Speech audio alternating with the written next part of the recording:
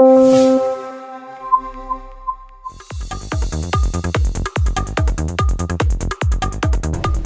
Hey guys, Steve Petrotto here, and my good friend James Haley from the Blade Development Team. We're here to talk to you today about a really exciting upgrade for your Blade 360 CFX. Now, James, I see three rotor blades on this 360 CFX. I'm assuming we're talking about a uh, the upgrade kit or a conversion kit. Tell Yep. me a little bit about why we would go and why someone would buy a conversion kit uh, that to you know improve their 360 CFX to a three-bladed head. Yeah, uh, right now, you know, there's kind of this new trend in the three-bladed models. Um, what it does is it gives you a lot more collective authority, a third, and uh, gives you a lot more control authority um, to the flybarless unit. So everything's a little bit more stable, a little bit snappier. Um, you get a lot faster cyclic rates. Um, so there's some advantages. Um, you get to lower your head speed down a little bit. Um, so flight times, depending on how you fly, can increase or decrease. Um, but yeah, there's a lot of advantages, and it just looks really cool in my opinion. Yeah, it does look very cool, especially sitting on a table like this. So tell me about what you get with the conversion kit and what you need to buy. So let's start with just the conversion kit part of it. Yeah, so there's the rotor head conversion. Uh, it's BLH 4752. Uh, it's fifty dollars, um, and that comes with the head block, um, three sets of spindles, one set, uh, one blade grip assembly, and uh, the two swash pieces um, for the inner swash. Um, So you still use your outer swash pieces, so you do have to assemble, disassemble your swash. Um, what's nice is it uses the same blade grips, same blade arms, same pitch links, Yeah. uh, same dampers. Um, all you do, like I said, you change that inner swash. Um, you use the same washout arm from the old one. Okay. So what that does is, you know, allows you know, a direct conversion. We kept it uh, fifty dollars. Try to keep it as cheap as possible, you know, without adding the extra blade grips in there.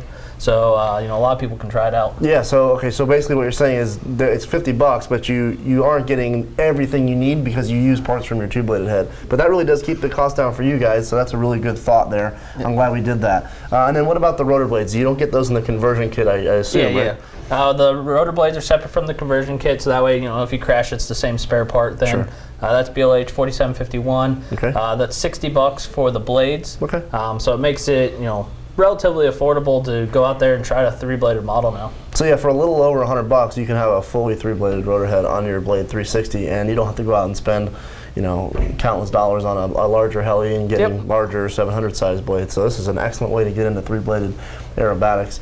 All right, uh, let's see. So we have to swap out some of the parts. Um, what else? What else should we know about this? I mean, this is a really cool upgrade. Yeah, um, you know, the one thing to note, you don't have to change anything in your flybarless unit either. Uh, Okay. No phasing adjustments or anything. It's all accounted for mechanically. Okay. So that allows you, know, you can fly it two-bladed, you know, pull the head off, do a quick change. Uh, to change it, it's uh, rel- relatively easy. You pull the old head block off with the Jesus bolt, loosen up the washout arms, pop your swash plate off too. Uh, change that inner swash plate. It's really easy. It's four bolts on the inner one. Pop that off. Pop the new one together. Um, then uh, pull your spindle off on the old one. Keep your blade grip assembly all together. Um, you know all the thrust bearings and everything. You don't even have to change any of that. Uh, the spindles you insert those into the head and has a shoulder bolt going through. That Okay. holds the bolt together, and the spindle in. Slide your damper on just like building. You know. Yeah, it's just like you're building a rotor head. Yep. Pop those all on there and slide the whole thing back on and. Uh, install your blades. Um, tracking is a little bit more difficult. Um, Sure, three blades instead of two, obviously.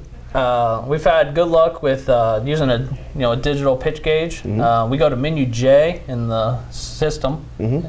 and then we zero the pitch out um, on one blade, rotate it, and have them all relatively zero um, over the boom or forward, you know, same direction. And then they should be pretty darn close out. You know, when you go to flight, you might have to make one turn on one blade. Just tweaking. Yeah, a little. Of course, there's gonna like anything. It's gonna be a little Yep. tweaking. Alrighty.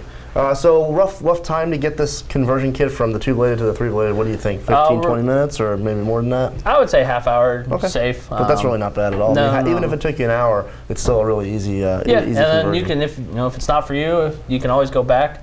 Um, one thing to note is if you do want to change your governor settings, I run the stock settings in there, and um, you'll get really short flight times in that idle up two. But idle one or even normal mode Mm-hmm. um, is works really well. Um, another thing to note is uh, you know it is a little bit different um, for the cyclic rate, so you might have to increase or decrease your cyclic rates Sure. depending on what you like. So most of the time it's a direct, but you know some people have different ranges. Yeah, everyone has their own personal preferences. Awesome, James. Well, thanks for coming out and talking to me about the 360 CFX three-bladed head conversion. Guys, if you want to learn more, please check out, uh, of course, HorizonHobby.com or BladeHelis.com, or check us out on Facebook at Facebook.com slash BladeHelis. Take it easy, guys. Thanks, guys.